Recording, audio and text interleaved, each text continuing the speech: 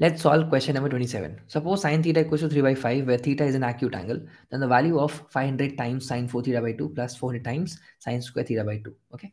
So this is a fairly simple question we have been given with sine theta value and we have to find out this particular value which we have to start with sine theta by 2 only, right? So from this value, we have to find out the value of sine theta by 2, right? So let's do that.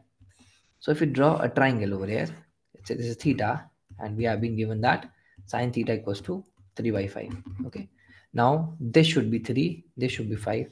So basically this should be 4 based on simple Pythagoras theorem, right? So we can say that cos theta would be 4 by 5, right?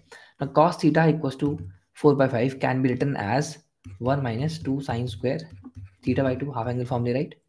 So that would give us 2 sine square theta by 2 equals to 1 minus 4 by 5 that would be 1 by 5 that gives us sine square theta by 2 equals to 1 by 10 right?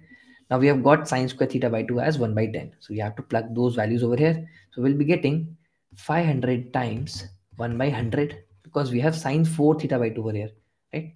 Plus 400 times sine square theta by 2 that is 1 by 10 now this comes out to be 5 and this comes out to be 40 that is 45 okay?